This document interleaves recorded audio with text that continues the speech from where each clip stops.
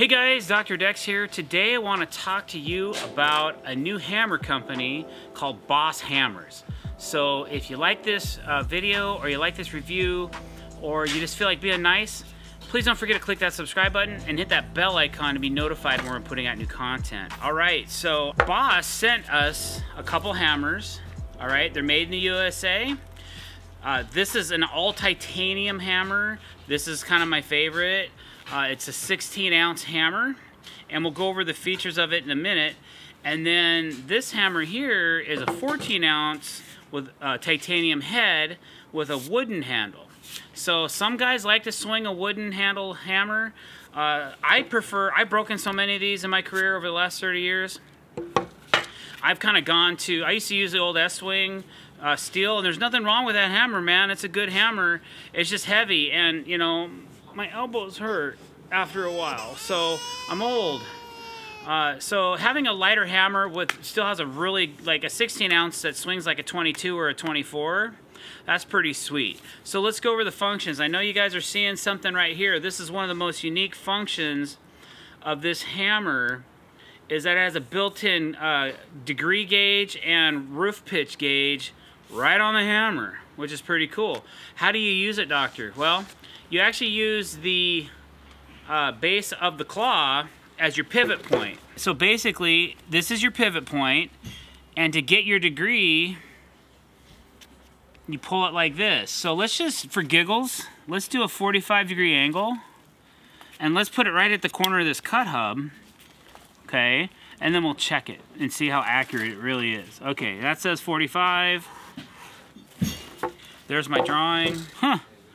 I'd say it is just slightly off of this Martinez square.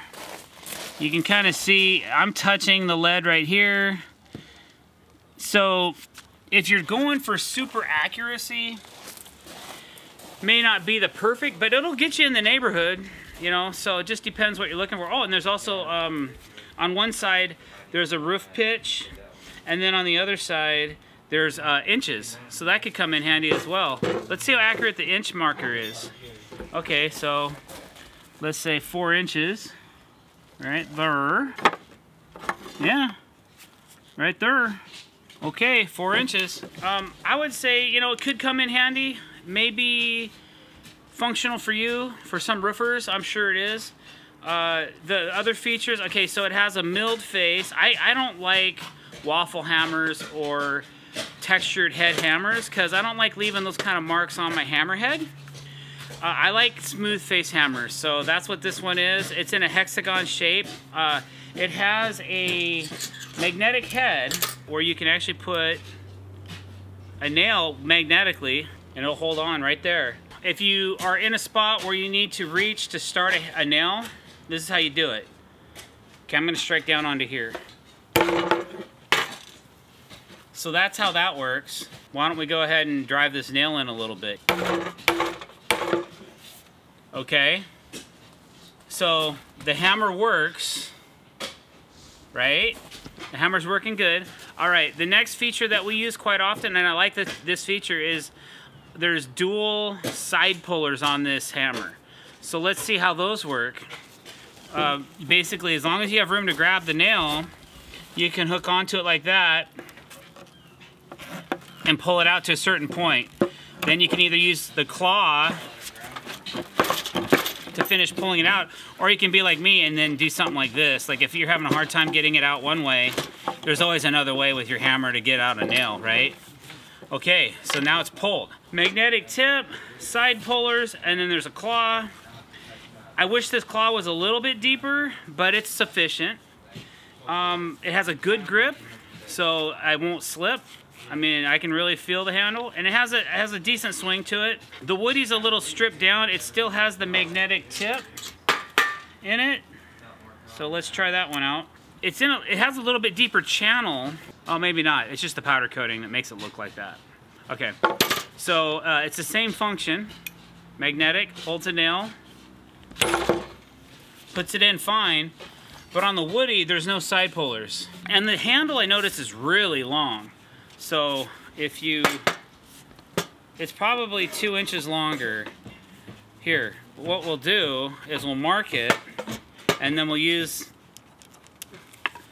we'll use a handy inch markers to see how much longer it is. It's two and a quarter inches longer this handle's two and a quarter inches longer than this handle. And I feel like this handle's plenty long. Sometimes I choke up on a hammer and I actually use my wrist versus like swinging with my whole arm. So there's a little bit of finesse in there. But the sweet spot on this Woody is a little lower. So this is really like true framing style, even though it's a light hammer, 14 ounces. I think a lot of, a lot of framers out there would appreciate this longer stroke but for me it's maybe a little too much. All right guys, to be fair, I went back and uh, checked the hammer again for squareness. And just to be fair, I could actually duplicate a 45 degree angle, but you gotta kinda get to know the, the hammer a little bit and where that actually needs to be on, you gotta be like that gold, or whatever color this is, this line right here, you gotta be really accurate on it okay? And then I drew a line. Now this, this square hammer, part of the hammer, is only good to about here, I think. Once you hit this, I think the rubber, I don't know if that's a straight line. I guess we'll check it. But I think I can be pretty accurate if I just spend a little bit more time laying out my, my square.